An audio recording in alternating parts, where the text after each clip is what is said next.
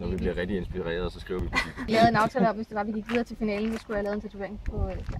Ja. Så det gjorde vi så. Også Michael Fik du simpelthen lavet en tatovering, fordi I kom i finalen? Ja. Er det sådan? Jeg, jeg ville gerne have den lavet, men jeg tror ikke rigtigt. Og så tænkte jeg, "Ej, hvis vi går i finalen, så skal jeg have den lavet. Okay. Så det skete. Hvad skete der så? Så, så, så gik vi så ikke videre fra finalen, ikke? men det havde vi heller ikke regnet med. altså, vi havde et mål om, at vi bare skulle videre Ja. og så nå til, til finalen. Ikke? Så var det ligesom bare det. Ikke? Ja. Thank you.